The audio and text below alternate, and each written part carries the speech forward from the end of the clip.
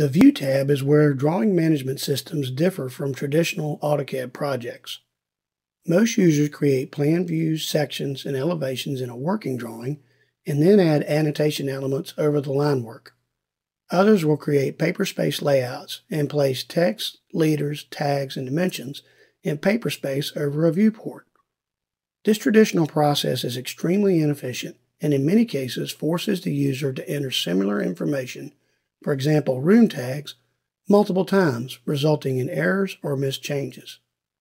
In the Project Navigator environment, view drawings typically represent each plan, detail, section, elevation, or schedule view that are placed on a sheet. A view drawing consists of externally referenced construction elements and annotations that are placed over these linked files. Items such as tags and dimensions can read data even through the reference files, so the information about an object is placed once in the construct with the object and then used several times in different views. Once a view has been defined, you can use the Project Navigator to drag it onto a sheet. The view controls what's visible, the scale of the view, and its annotations, and the size of the view. This method can save as many as 30 steps versus creating traditional viewports in paper space. Just like the constructs, we can organize the views into any number of categories and subcategories. The final part of the drawing management system is the Sheets tab, where the production sheets are defined, printed, and archived.